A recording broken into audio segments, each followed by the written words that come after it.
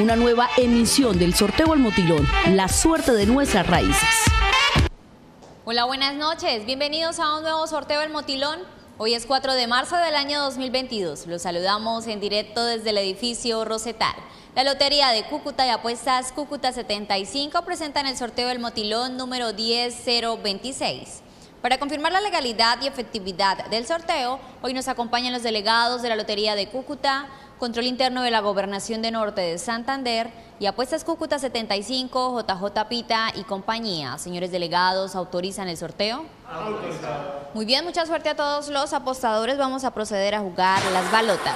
Mientras tanto, les contamos que previamente se realizaron 10 presorteos.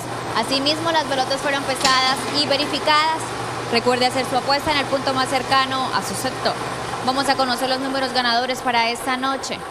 Iniciamos con el 2, a continuación 0, seguidamente 5 y terminamos con el 5.